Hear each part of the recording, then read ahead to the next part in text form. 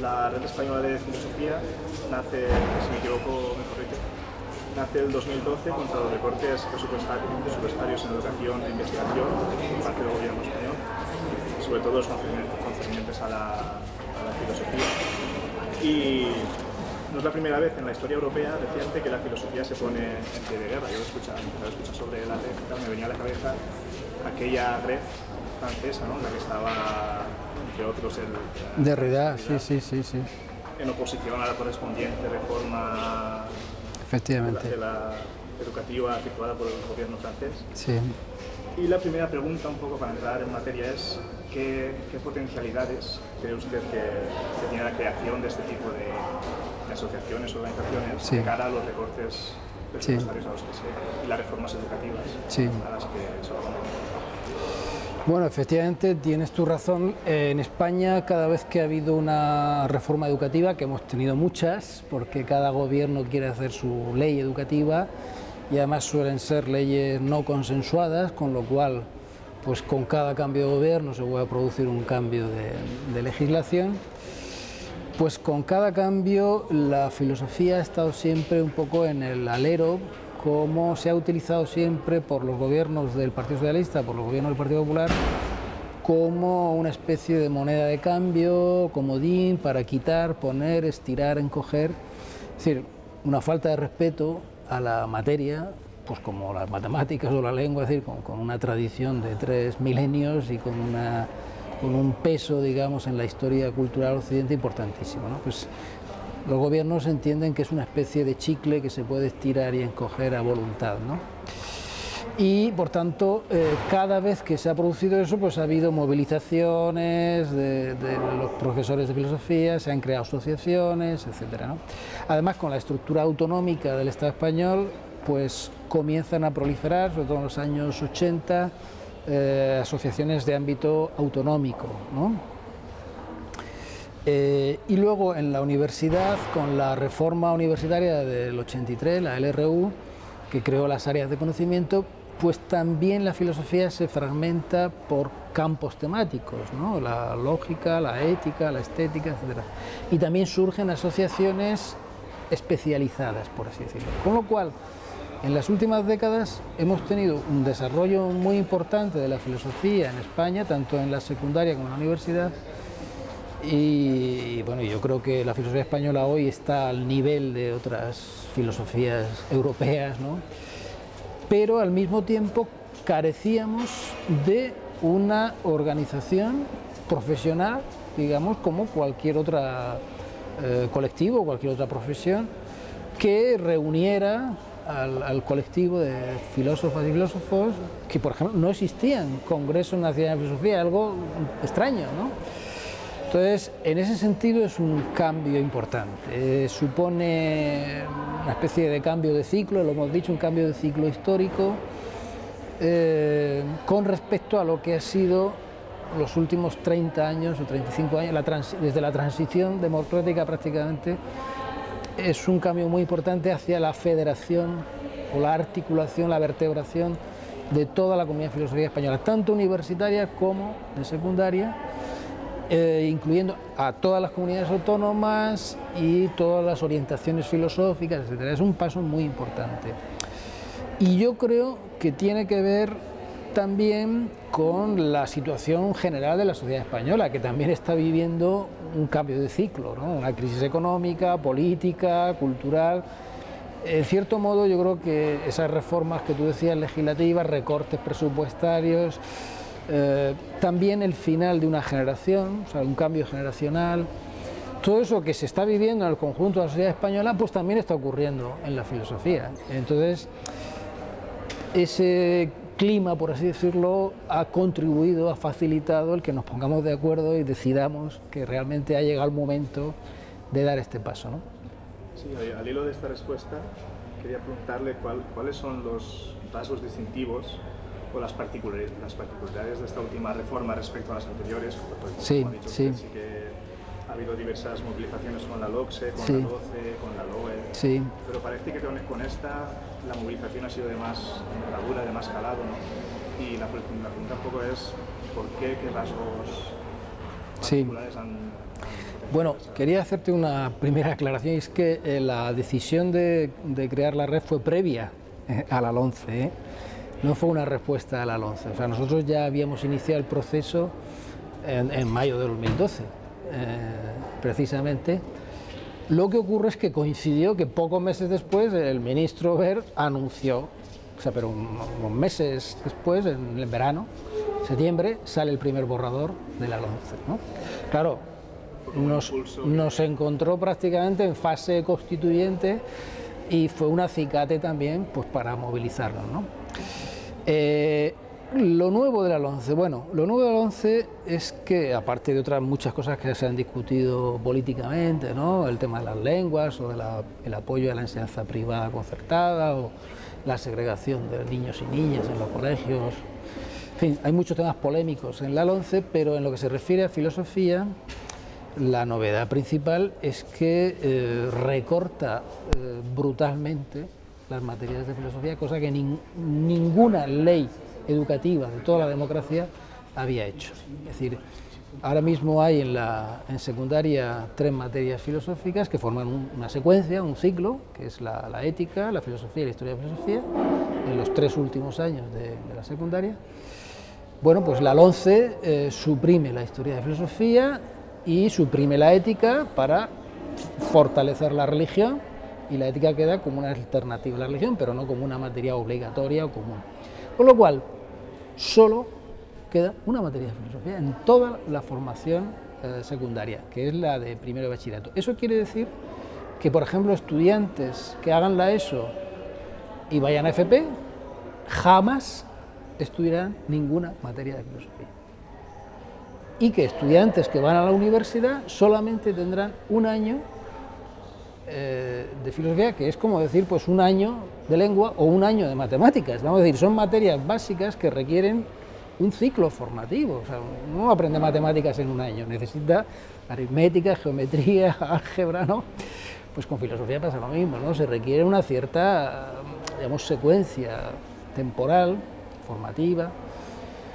Esta es la novedad del 11, que le da un tajo brutal a la, filosofía y eso evidentemente va a suponer además no solamente un deterioro de la formación de los estudiantes, sino la, desaparición de muchísimos profesores de filosofía. De pronto habrá muchos institutos, muchos centros que se queden con un profesor o medio profesor. este es...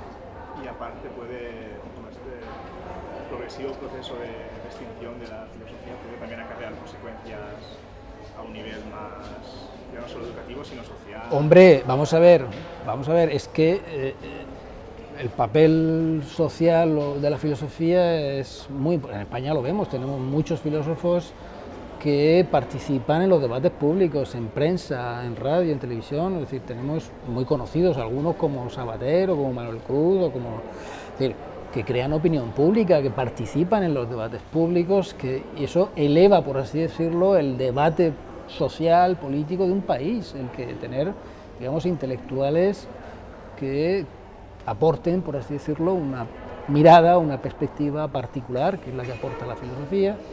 Eh, no es solamente la formación general de los estudiantes o de los, cualquier ciudadano que tenga una formación básica, cultural, la filosofía forma parte, digamos, de esa formación cultural, sino que además la filosofía en las sociedades democráticas añade un plus, digamos, de, debate político, social, etc.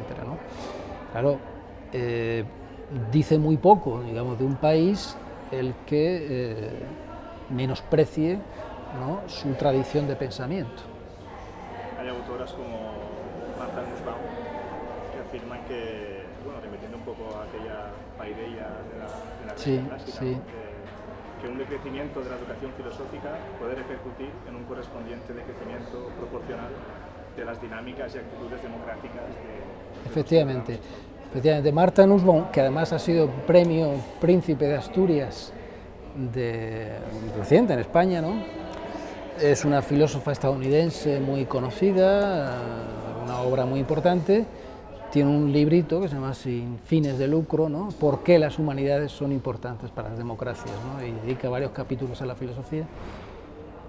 y efectivamente, estamos asistiendo, ella, lo llama la crisis silenciosa del pensamiento. Estamos hablando de crisis económica, crisis energética, crisis política, pero, dice ella, está habiendo una crisis en los países occidentales que es la pérdida de apoyo a las humanidades, a las artes, en general a todas las disciplinas, a todos los saberes sin ánimo de lucro, es decir, que, cuya finalidad no es estrictamente económica, tecnológica, competitiva, sino que forma a los ciudadanos. Lo que ella dice es que hay una vinculación fundamental entre la calidad de las democracias y el apoyo a las artes, a las humanidades, entre las cuales ella incluye lógicamente a la filosofía. Entonces, eh, eh, revela mucho de la crisis de legitimidad de nuestras democracias, de la devaluación que están sufriendo nuestras democracias, el que estén cada vez más supeditadas a valores de carácter exclusivamente económico, tecnológico, de competitividad, de mercado, etcétera, y que descuiden, digamos, lo que es la formación cultural de un país, de una población. Sí, otra de las preguntas era hasta qué punto pues, todo este proceso podría encuadrarse en lo que Michel Foucault ya en el, nacimiento de la biopolítica llamaba una generalización de la forma económica del mercado en la totalidad del cuerpo social. dentro de un proceso más global de lo que se podría llamar neoliberalismo. Sí, bueno, efectivamente, llevamos sufriendo ya tres décadas de políticas neoliberales en todos los, en los ámbitos de las políticas públicas eh, los servicios, bueno, la educación, sanidad, servicios sociales, etcétera, que están siendo, digamos, socavados en todos los estados europeos. Eh, pero es que eso afecta efectivamente a la manera de entender una sociedad, a la manera de entender los valores democráticos. Y efectivamente, eh, te voy a dar un ejemplo muy, muy significativo. En la política europea de investigación, es decir, el plan estratégico de investigación de la Unión Europea, que se llama Horizonte 2020, porque está diseñado para, se diseña cada siete años, de 2014 a 2020. Bueno, pues cuando se elaboró el actual plan estratégico, eh, se, se previeron cinco áreas estratégicas, de las cuales ninguna, ninguna incluía no ya la filosofía, a las humanidades en su conjunto y a las ciencias sociales en su conjunto. O sea, la Unión Europea diseña un plan estratégico de apoyo a la investigación que excluye al conjunto de las humanidades y las ciencias sociales. ¿Qué clase de concepto de conocimiento tiene, tienen las élites de la Unión Europea? ¿Qué clase de sociedad están diseñando en donde todo lo que es la formación humanística, y no solo eso, el conocimiento reflexivo sobre nuestras propias sociedades, que son cada vez más complejas, más inciertas, más conflictivas, más problemáticas, y que por tanto requieren de conocimientos de sociología, de historia, de antropología, de lingüística, etc., que los gobernantes consideren que pueden prescindir de todos esos conocimientos. Es realmente asombroso. Bueno, hubo tal protesta de de los propios investigadores, lógicamente, de todos los países de la Unión Europea, que incorporaron una sexta área estratégica y metieron como un cajón desastre todas las humanidades y sociales en esa sexta área. Esto es un ejemplo de esa tendencia que tú comentabas hacia una, un economicismo, digamos, una concepción cada vez más chata, más estrecha de lo que debe ser una sociedad. ¿no? un reconocimiento de Sí, sí, sí, como si fuese una especie de lujo prescindible, ¿no? Bueno, ya centrándonos un poco más en lo que es la, organización de la, red. Sí. En su artículo sobre los orígenes históricos de, la red, usted la, llama un proceso constituyente. Sí. Y la pregunta es, pues, eso, que, ¿cómo está? ¿Quién compone la, organización y cómo funciona tanto a nivel interno como a nivel externo? Sí, bueno, eh, vamos a ver, en, la propia génesis de la red es importante no solo el que se dieran, como he dicho antes, ciertas circunstancias históricas que han facilitado, han favorecido, que nos han hecho ver claro que teníamos que ir en esa dirección, sino también el método, el procedimiento, porque había habido intentos anteriores fallidos. Y habían fallado pues por conflictos entre grupos, ¿no? o por, digamos, egos demasiado inflados dentro de, nuestros colegas. Entonces era muy importante eh, seguir un procedimiento que fuese lo más abierto, lo más participativo, lo más democrático posible. Eh, en ese sentido, un poco en paralelo con, con los signos de los tiempos, ¿no? con el movimiento 15M, es decir, con la idea de que todo el mundo tiene que tener voz, de que a todo el mundo hay que escucharlo, de que los procesos de decisión se tienen que tomar de la manera más consensuada posible, etc. Entonces, ese es el método que intentamos llevar a cabo. Eh, por eso se organizaron esas jornadas de mayo que las organizó la conferencia de decanos, pero contando ya con, con, ocho asociaciones representativas de todos los sectores para que las propias asociaciones se implicaran en el propio proceso. ¿no? Y fue, fue tras, tras un intenso debate en esas jornadas cuando se tomó de manera colectiva el acuerdo de, de emprender la creación de la red o la organización de este congreso, etc. Y todo el proceso ha sido en ese sentido muy, muy participativo y muy consensuado. Yo creo que eso ha sido una de las razones eh, bueno, de, de, del éxito, ¿no? del, del, apoyo que ha tenido este proceso de creación de la red, ¿no? en el que todo el mundo se ha sentido parte del proceso. ¿no?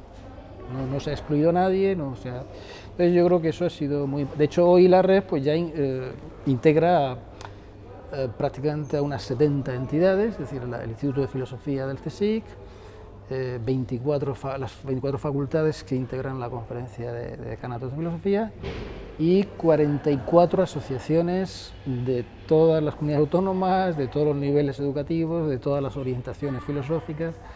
Es decir, se han ido sumando, se han ido integrando eh, en, en, apenas un año ¿no? que lleva la REF. Sí, y en este mismo artículo también, también afirma que la REF nace con la intención de acabar con las diversas divisiones, tanto institucionales como generacionales. Sí. Y me gustaría que profundizara un poco en ese, en ese aspecto de hasta qué punto puede la, la red funcionar como, entre, tanto entre generaciones como los docentes de la, investigadores de la universidad y docentes de... Sí, efectivamente, había ha habido, digamos, en, en, las últimas décadas un desarrollo, como te decía antes, importante de la filosofía española. Yo creo que ha sido un paso muy importante de modernización, sobre todo cuando veníamos del franquismo, ¿no?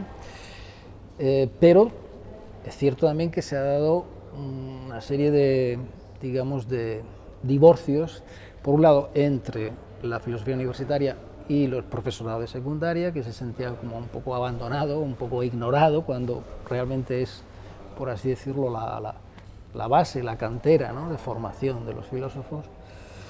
Eh, había un divorcio también entre las comunidades autónomas, pues, pues pequeñas asociaciones, cada uno en su comunidad, a pequeña escala, que están muy, muy bien, es muy necesario, pero desconectadas entre sí y había también un divorcio dentro de la propia universidad entre las distintas áreas del conocimiento, cada una con sus asociaciones, con sus congresos, que, también es importante que, se, hagan y que se sigan haciendo, pero claro, que dificultaba los encuentros, los pasos, ¿no? digamos, la comunicación horizontal. ¿no?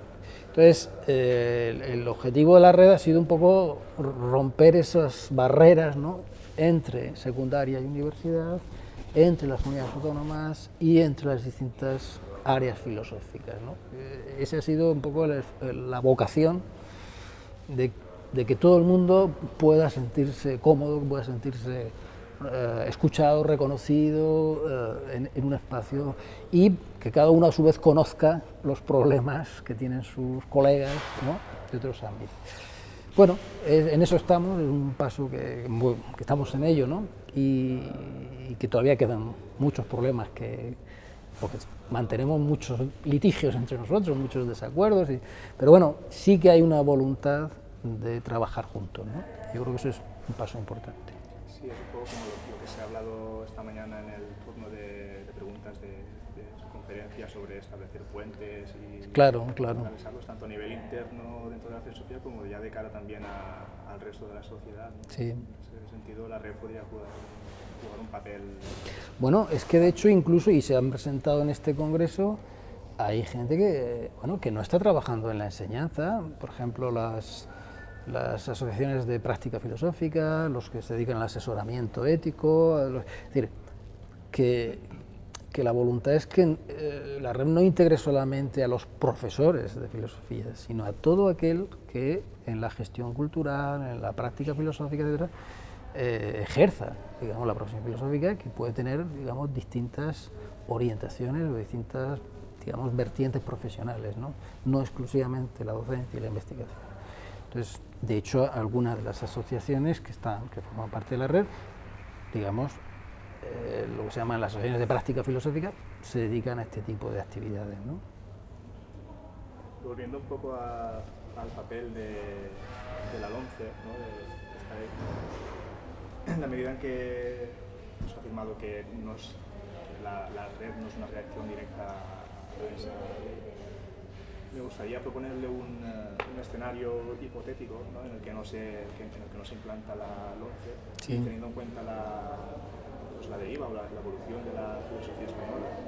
¿Cómo, ¿Cómo, cree usted que habría seguido sus pasos, su, su, camino, sin, sin, esa, sin, ese obstáculo, mm. sin ese yeah. que, que supone la LONCE? Hombre, nuestra idea, si tuviéramos un ministerio más receptivo y más dialogante, pues será eh, evidentemente proponerle a la Administración un currículum de los estudios de filosofía de secundaria. Nosotros creemos que se debe mejorar, se debe modificar el currículum de los estudios de filosofía.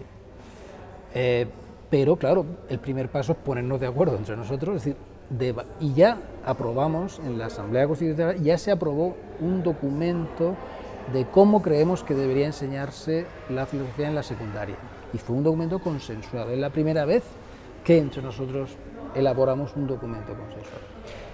Ha sido un primer documento que no es el definitivo, pero bueno, que fue un primer paso. Nuestra idea es pongámonos de acuerdo entre nosotros sobre qué mínimos formativos creemos que se le deben enseñar a un chico de 14 años, de 15 años, de 16 años. Y a continuación, evidentemente, presentar a la Administración para que la Administración tenga en cuenta el punto de vista de los especialistas en el tema, en la materia. ¿no? Eso sería lo normal en un país democrático, es decir, que el gobernante escuchará a, los, a las comunidades afectadas, en este caso a, la, los profesores de filosofía, a la hora de diseñar un currículum de filosofía. ¿Quién debe decidir cuál debe ser el currículum de filosofía? Pero como no estamos en un país democrático normal, eh, pues eh, tenemos un ministro que gobierna manu militari, eh, ahora mismo se están elaborando los currículum para la ONCE y el Ministerio no ha contado con la REF para nada.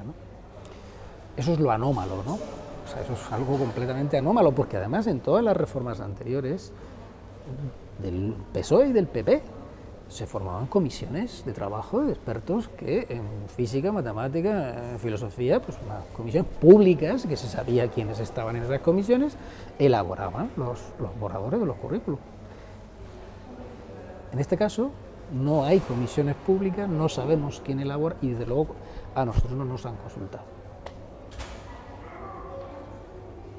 Bueno, hemos hablado también de, de cambios de ciclo en la filosofía mm. española que sí. van de la de los cambios de ciclo históricos. Mm. Y mi pregunta es hasta qué punto puede la, la red contribuir o incentivar un nuevo cambio de ciclo o jugar un papel en este nuevo cambio de ciclo que se está. Sí. Bueno, eh, las circunstancias históricas no las elegimos nosotros, son las que son. Nosotros tratamos de responder a esas circunstancias y lo que son inconvenientes convertirlos en, en ventajas o en oportunidades. ¿no? Yo creo que uno de los inconvenientes ahora eh, más graves que está habiendo, no solo en filosofía, en general en la sociedad española, pero vamos, nos, nos afecta a nosotros, es la, la fractura generacional sea, está habiendo una fractura generacional grave. Bueno, tenemos un 57% de paro juvenil, más alto de la Unión Europea. Eso significa que hay toda una generación con formación universitaria por encima de la media de la OCDE. O sea, tenemos la generación mejor formada de nuestra historia a la que le decimos no hay futuro para vosotros, no hay trabajo. Entonces, eso ha provocado una gran, eso es uno de los factores fundamentales de la crisis que estamos viviendo en este país. La sociedad que a su gente joven le dice, no tenéis futuro. Eh, ¿Eso en filosofía qué significa? Pues que se está produciendo una especie de adelgazamiento de la comunidad filosófica, es decir, se van jubilando las generaciones de filósofos importantes, muchos de ellos muy conocidos, que hicieron la transición filosófica en España, eh, y no están incorporándose eh, los jóvenes a la profesión, es decir, a la enseñanza, tanto en la universidad como en secundaria.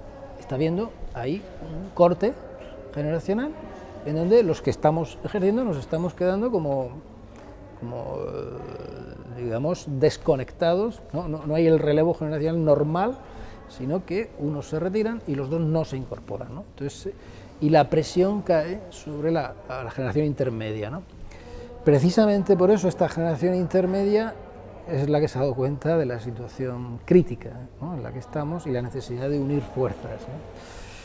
Eh, yo creo que el unir fuerzas por sí mismo, bueno, pues es un modo de responder a una situación muy difícil y un modo de, darnos apoyo mutuo, ¿no? de darnos apoyo mutuo y de, por ejemplo, para organizar un congreso de este tipo. Es, es complicado organizar un congreso porque requiere eh, recursos humanos, recursos materiales, financiación. Bueno, pues si unimos fuerzas, pues a lo mejor conseguimos crear este tipo de congresos más fácilmente que si los fraccionamos ¿no? y cada uno trata de buscar recursos externos cada vez menores. Este congreso se ha organizado sin financiación externa, se ha autofinanciado con las inscripciones y con una ayuda de la propia red. Y bueno, y alguna pequeña ayuda de la universidad, la Universidad de Valencia, eh, y poco más. O sea, cuando hace unos años, pues bueno, eh, comunidades autónomas, cajas de ahorros, eh, todo tipo de entidades, pues daban ayuda, subvenciones. Esto, esto se, ha acabado, es cada vez más difícil. Entonces, bueno, pues en esas condiciones tenemos que inventar eh, modos de seguir ejerciendo nuestra profesión de una manera diferente. ¿no? Entonces yo creo que la red puede ayudar en ese sentido a, bueno, pues a preservar, digamos, a pasar el testigo, el relevo ¿no? generacional y a crear un espacio donde la gente por lo menos se sienta escuchada. Aquí pues mucha gente joven que presenta sus comunicaciones, que por lo menos encuentra un, auditorio, unos colegas. Esa es la idea. Sí, esa es un poco la, pregunta que le iba a hacer también, que este primer congreso ya se prevé en el manifiesto fundacional de, la red. Y la pregunta era esa, que ¿por qué el congreso como, formato principal?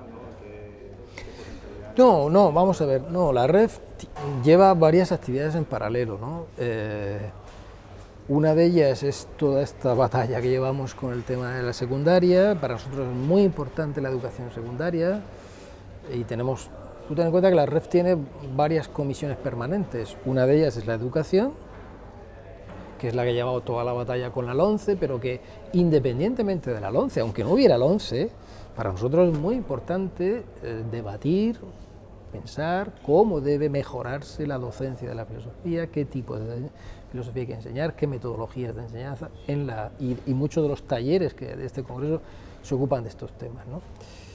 Eh, tenemos una comisión de, universidades que también trabaja sobre el tema de los grados, de los másteres, de los doctorados y de lo que es la formación universitaria.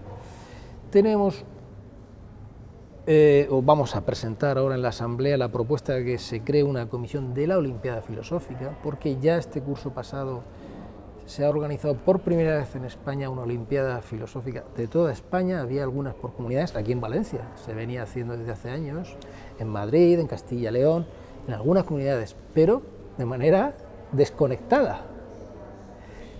Pues eh, también en esto la red ha apoyado la organización de la primera Olimpiada Filosófica Española que se celebró en Salamanca eh, y además de la cual fueron luego dos chicos a la, porque hay una Olimpiada Filosófica Internacional que se celebró este año en, Vilna. Y nosotros apoyamos también la, la Olimpiada Filosófica eh, y otra de las actividades es el Congreso. Es decir, que el Congreso no es la única digamos, actividad o la actividad principal de la red. Es, evidentemente, una de sus actividades porque, bueno, es de la misma manera que la Olimpiada está pensada fundamentalmente para que los estudiantes de secundaria pues eh, se ejerciten ¿no? en la, hablar en público, hacer un ensayo, hacer una disertación, había también fotografía eh, y, los profesores de instituto pues digamos encuentren ahí también un estímulo, un apoyo, un reconocimiento pues el Congreso está más pensado, lógicamente, de cara a la investigación, a las universidades, a la gente que hace sus doctorados, etc. Es decir, son, por así decirlo, actividades diferentes para eh, ámbitos distintos ¿no? de la filosofía. Entonces, es algo muy importante para la red porque visibiliza la red de este Congreso, pero no es la única actividad. Y, por ejemplo, en la, en la asamblea que hay programada, ¿se van a decir cosas sobre las distintas comisiones o es más una asamblea constitucional? Eh, sí, eh, claro, mañana tenemos, eh, hay una asamblea ordinaria en donde se tratan pues, temas, por ejemplo, incorporación de nuevas asociaciones, que las tiene que aprobar la asamblea, el tema de las cuentas, el tema de las, la creación de esta nueva comisión de la Olimpiada, que es una propuesta que va a la Asamblea, pero lo tiene que aprobar la Asamblea. En fin, se van a tratar temas varios y luego, eh, a continuación, está la Asamblea Extraordinaria, donde se va a renovar la Junta Directiva y renovar todas las comisiones de trabajo. Porque la idea es que, y así está fijado en los estatutos, eh, las renovaciones de la Junta Directiva se hagan cada tres años coincidiendo con los congresos. Sea, los congresos se van a hacer cada tres años, las juntas directivas se van a renovar cada tres años. De manera que eso un poco se ha hecho deliberadamente así para hacer coincidir renovación de juntas con congresos. Y bueno, ya para, para terminar, hemos hablado, hemos hablado de, de la red, de, de Rida, de Foucault, y quizá podríamos añadir a más filósofos, digamos, implicados o comprometidos como Sartre o Deleuze, sí. o más actuales como Michel Onfray. Sí. Y siempre ha habido como ese tópico ¿no? de que los filósofos franceses han estado más comprometidos o, o, se han involucrado más en los asuntos públicos que los que quizá en comparación los filósofos españoles, quizá aún teniendo en cuenta los casos relevantes, los y la pregunta es si, si, la red podría un poco romper ese tópico ¿no? y, y, potenciar un poco que, que, que, los filósofos españoles se involucren más en, en, en, los asuntos públicos o si quizás es un tópico que no tiene ningún fundamento. No, yo creo que los. Vamos o sea, a ver. Porque hablábamos de, de, abrirse a la sociedad. Sí, sí, sí. No, yo creo que los filósofos españoles. Vamos, los filósofos, hay de todo, quiero decir. Hay filósofos, digamos, con una por así decirlo, vocación más académica o más de investigación erudita, o son buenos profesores, buenos investigadores, y no tienen una cara pública. ¿no? Pero en España ha habido filósofos, muchos además, y muy conocidos, con una cara pública y con un compromiso público, incluso con cargos políticos. ¿no? Eh, bueno, la, la profesora que cierra este congreso, que es Victoria Camps, pues ha sido senadora por, el Partido Socialista, ha presidido una comisión sobre los medios de comunicación, una comisión asesora. Eh, hay, hay, un, hay filósofas y filósofos en España en las últimas décadas muy comprometidos políticamente, ¿no? y no solo políticamente en el sentido estricto de, de, los partidos políticos, de la representación política, sino socialmente con los problemas, pues problemas de la bioética o de las migraciones o del eh, el tema de los nacionalismos, etcétera, ¿no? todos estos debates de la sociedad española, eh, el feminismo, tenemos una generación de pensadoras feministas en España muy importante. O sea que compromisos sí ha habido. Lo que ocurre es que, claro, vamos a ver, Francia tiene una tradición de como de de grandes intelectuales ¿no? y además con un eco mediático muy, muy, importante, que por cierto la mayoría de esos grandes intelectuales franceses ya han fallecido, o es decir, ahora mismo hay un cierto apagón en la filosofía francesa, eh, porque claro, es que fue una generación especialmente brillante, ¿no? la de los años 60, 70, 80, ¿no? Que bueno, quizás ha sido un ciclo de la filosofía francesa muy, notable, pero que no sabemos si va a tener continuidad. ¿no? Quizá España, pues desde la época de Ortega, no ha tenido esos grandes intelectuales, digo, reconocidos a nivel internacional. ¿no? todavía hoy los filósofos españoles más conocidos internacionalmente siguen siendo Ortega y Fernando Savater. Eh, bueno, María Zambrano también un poco. decir, quizá a la filosofía española en todo caso le ha faltado resonancia internacional. Pero eso no quiere decir que no haya filósofos españoles que sí que están comprometidos con muchas causas, digamos, políticas, sociales, etc. Eh, bueno, quizá no grandes figuras o grandes estrellas, porque ahora vivimos en el Star System y, se tiende como a, bueno, a catapultar a la fama ¿no? a determinadas figuras. Está pasando ahora con los filósofos italianos, ¿no? pues, eh, Agamben, Negri, Espósito, etc. Hay una generación de filósofos italianos que, se han puesto de moda, ¿no? pero bueno, quizás España no está en esa liga ¿no? de, de, grandes estrellas, pero creo que tiene profesionales muy buenos. O sea, en el trabajo, en la producción intelectual, no tiene España que envidiar a la de otros países europeos. Vale, pues esa era la última pregunta. Muy bien.